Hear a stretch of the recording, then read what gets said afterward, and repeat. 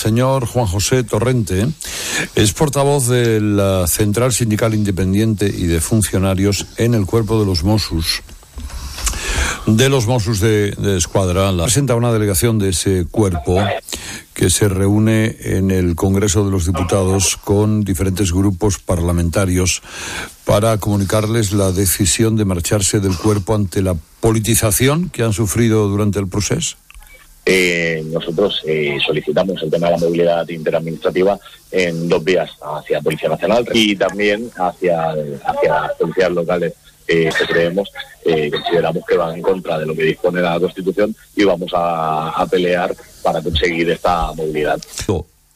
¿Cómo, de qué manera están ustedes, de qué manera les han hecho a ustedes, a los que formen parte de este grupo, sentirse incómodos? A título de ejemplo, además del tema de la movilidad que se ha dado en nuestro, de, nuestro, de nuestra reunión de hoy, eh, también haremos llegar el dossier de agravios que, que, tenemos dentro de las reivindicaciones que estamos llevando a cabo los sindicatos del cuerpo junto con el, colectivo de Mossos. A, a los dos últimos 1 de octubre, tanto el de 2017 como el de 2018.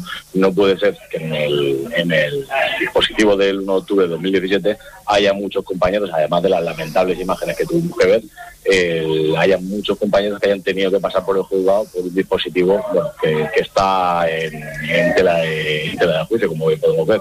Luego también tenemos el 1 de octubre de 2018, en el que nuestro responsable, el señor Torra, eh, por la tarde está alentando a los violentos por la noche tiene que tiene que intervenir la, policía, restablecer el orden público ante los enfrentamientos que había y los malos siempre acabamos siendo los policías. ¿Cuántos serían ustedes los que estarían por esa pasarela policial? Es decir, por dejar un cuerpo e integrarse en otro. Por las llamadas que hemos recibido, el interés que se ha mostrado a la gente que ha preguntado en el sindicato, llamadas que vamos recibiendo todos los que estamos involucrados en esto, entre 300 y 500 personas.